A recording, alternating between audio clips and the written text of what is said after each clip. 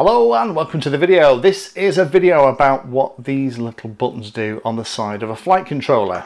This little thing here is called a DFU or a boot button and it does a very important function.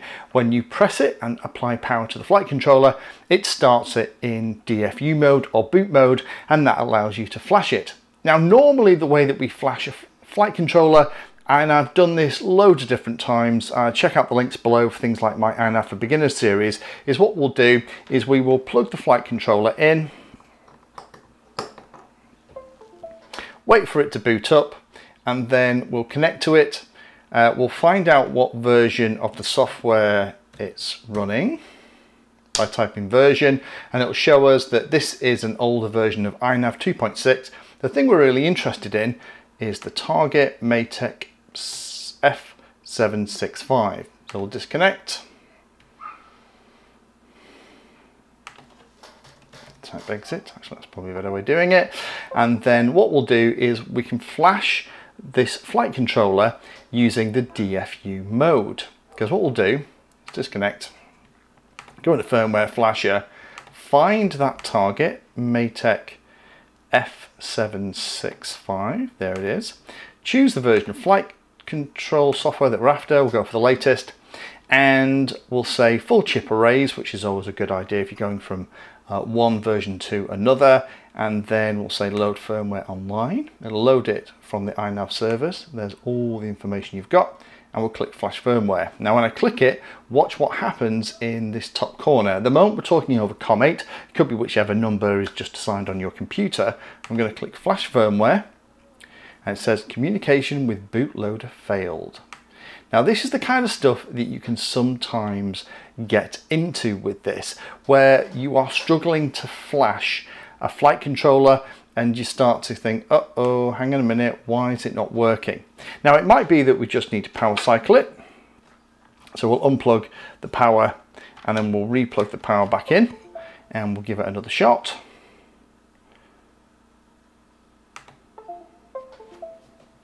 And this time what's happened is the iNav software has told the flight controller to reboot into DFU mode. And that's because the, even though it wasn't connected fully, there was enough of a conversation happening between iNav, in this case, it could be Betaflight, it could be anything, and the flight controller to reboot the flight controller so it will be flashed. And it doesn't take too long at all.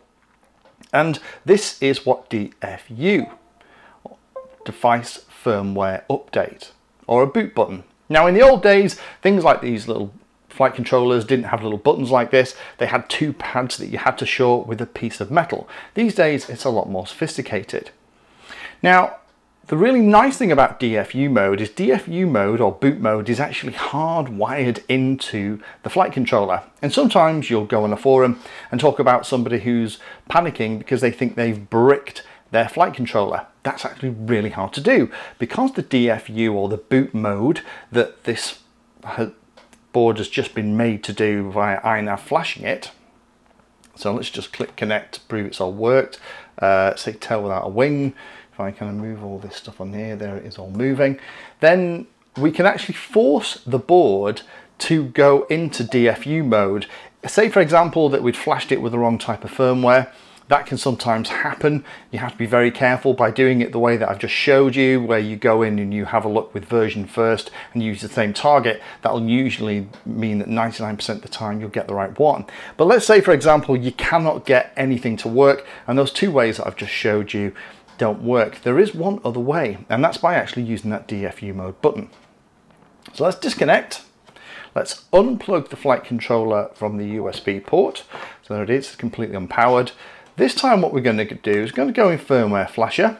We're going to select the same target again, Matek F765, there it is. We're going to select the version that we're after. This time we're going to select no reboot sequence. So now it's actually going to not try and reboot the flight controller. We can also turn on flash on connect. Now this time what we're going to do is we're actually going to hold the boot button. We're going to press the little boot button on the flight controller in. It's easier if I turn it around for me to do it this way. I'm going to press and hold that button and then I'm going to plug it into the power. So there we are, we've loaded the firmware. Okay. I'm going to press and hold the DFU button in, which is this little button here at the top. I'm going to press and hold it, and then we're going to plug in the power. Now what's happened is the flight controller has actually started in DFU mode, and we can see that because it says DFU on the screen. So now I can just flip, click on flash firmware and away it goes. And this is the really cool thing about the DFU boot button.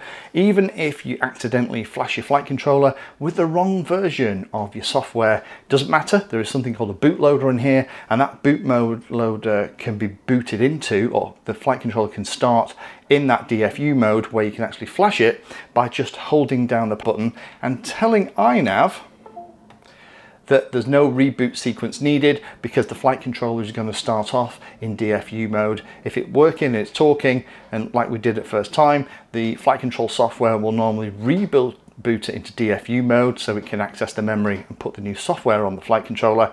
However, if that doesn't work, that's the way I do it. Just press and hold the DFU button while you plug it in and you will be away and it will work. Hopefully that's helpful to some of you. I know for some pilots they get really worried about uh, when they flash a flight controller and maybe it doesn't come up properly or they can't connect to it then with their computer. What have they done? Could potentially be something like the, as easy as you need another USB cable. Uh, some USB cables only have power in them if they're designed for charging only.